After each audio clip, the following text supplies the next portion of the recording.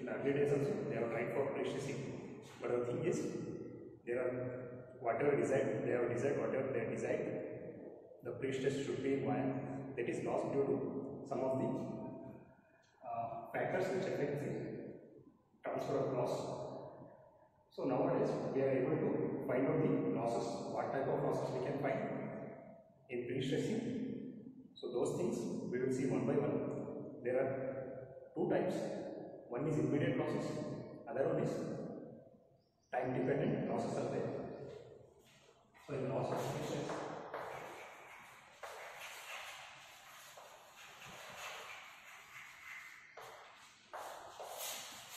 there are two types. That is one is immediate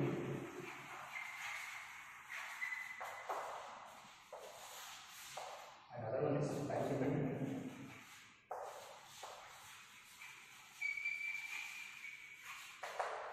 So these are two types immediately in a loss of pre-stress.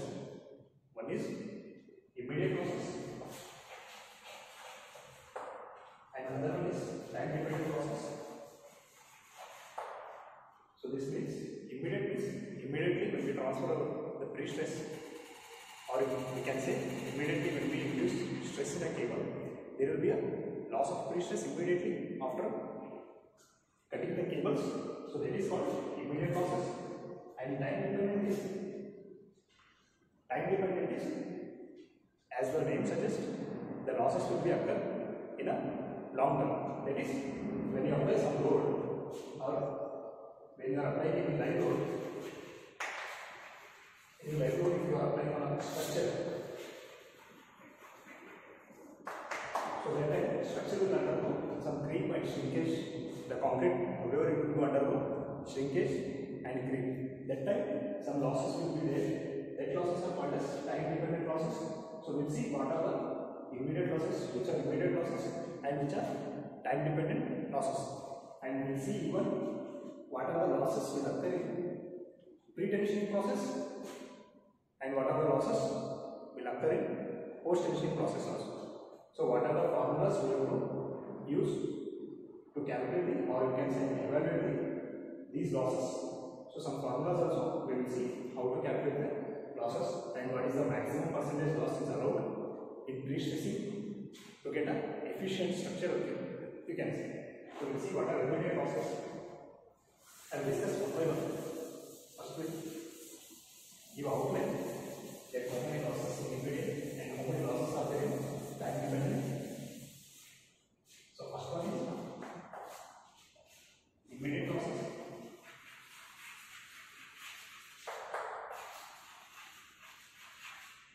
So in immediate losses, first one is in immediate losses. First one is elastic deformation loss.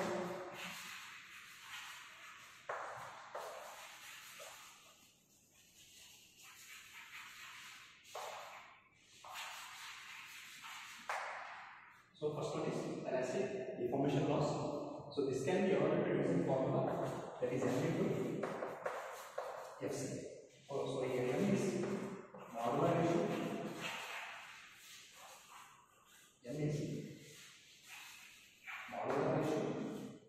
And to calculate that modular ratio, we have formula that is M equal to ES by EC. So this is how we have to calculate loss of elastic, loss due to elastic deformation and FC is FC is initial pre-stress. So this is the formula to calculate elastic uh, loss due to elastic deformation. So here this is the first type of loss which occurs immediately because when a gas type operate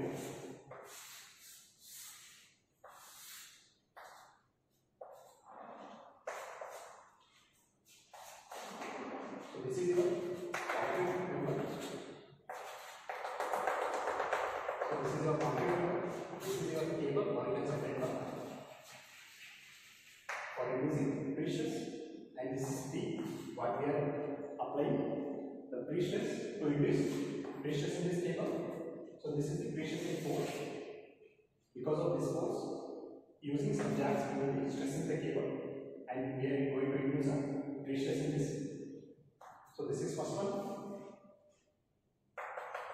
And when you cast concrete, immediately there will be deformation when you remove the casting or you can say mold when you remove your concrete member from mold. There will be elastic deformation will take place due to the shrinkage of the cement. Due to the activity of cement, there will be elastic deformation loss. So that is immediate loss. This one is the first loss which occurs in immediate process. And second one is first one is elastic deformation, second one is loss due to friction.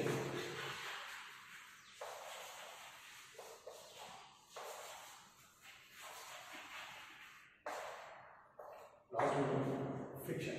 So this is this loss, the friction, the term friction here we are using. Using this one term, we can say this occurs only in the case of post-tensioning process.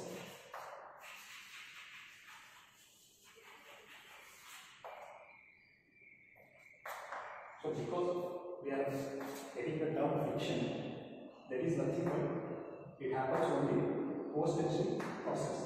Because in, in pre-tensioning,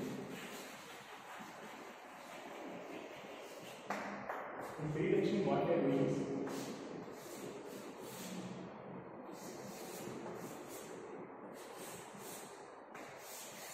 in a box, in a casting bed, we will be placing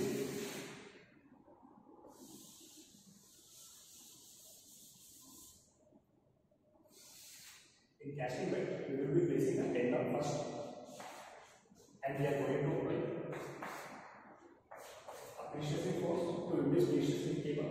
After that, we are going to pour a concrete, and we are going to cast a member. So here, first of all, we are increasing pre-stress, and we are placing the cable, so there will be no friction at all. But in the case of but in the case of post tensioning, what we are going to do is, first of all, we are going to cast a concrete member. In the concrete member, for placing the cables, we are providing that.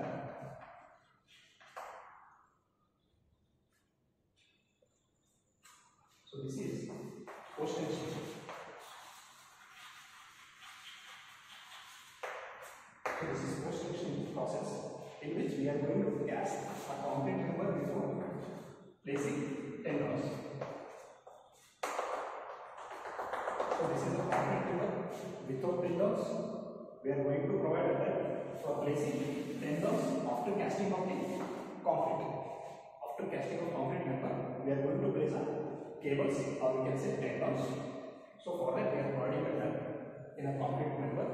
After that we are going to place a cables. After placing cables, we are going to reduce resistance in these cables. So there will be a friction losses due to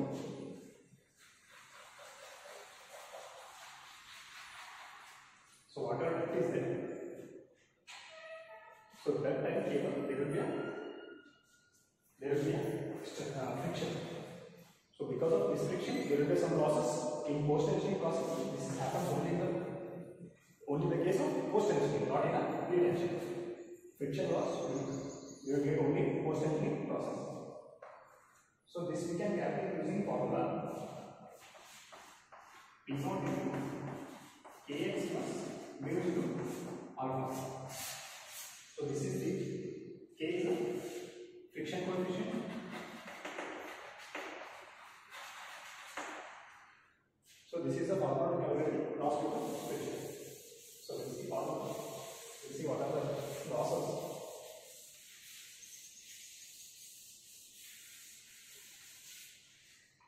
And third one is in immediate losses. Third one is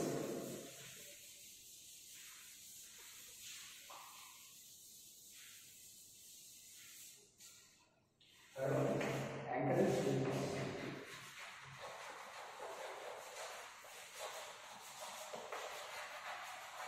Anchorage slip loss. Is a concrete member.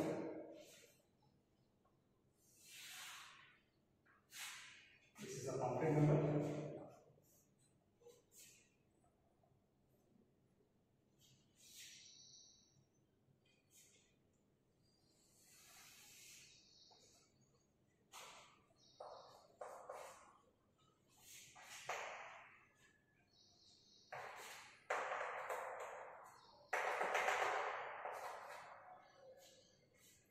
So this is also applicable only for post-tension process.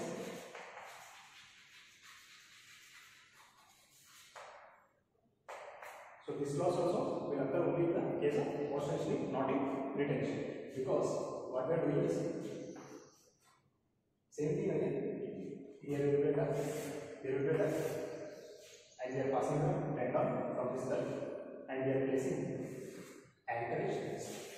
Anchorage will be there here at the ends to hold the cable in place. So when you immediately cut the cable here, there will be a slip of anchorage here. Some slip will be there here at the at place of anchorage. So that is called anchorage slip loss.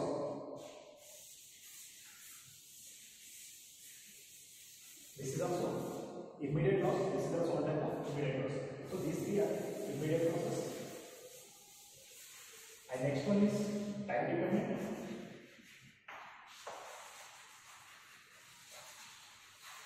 So in time dependent, first one is creep loss. Creep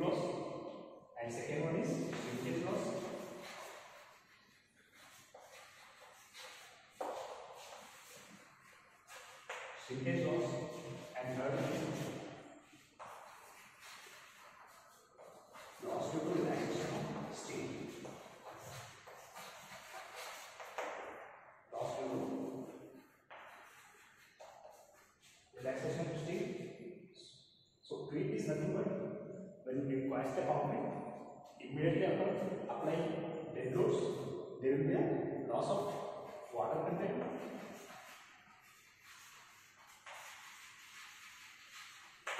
So loss of water content will be there, due to which your cement will get shrink. So that is called creep.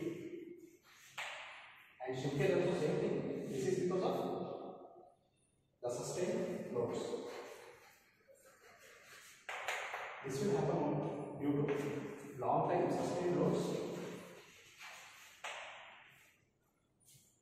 So these are the time dependent losses. First one is creep loss, second one is shrinkage loss, third one is relaxation of steel. So calculate creep loss, they have a formula that is pi into pi m into fc. Here pi is coefficient of creep, or you can say creep coefficient.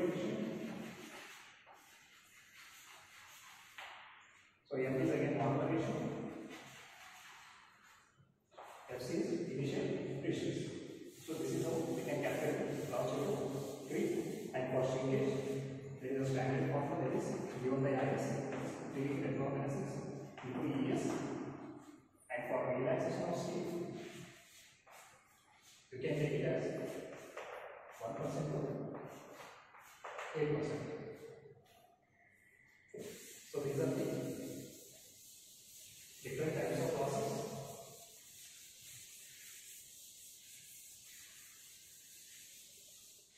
In this, you see which are pre-tension losses and post-tension losses.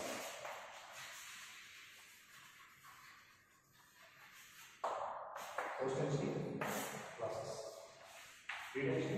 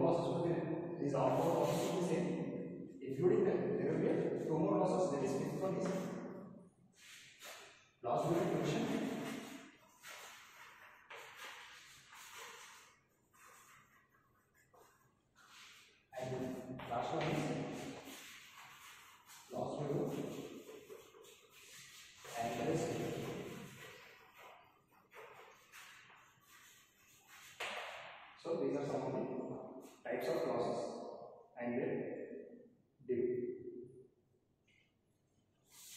and how they are divided. So these are the basics of losses. So here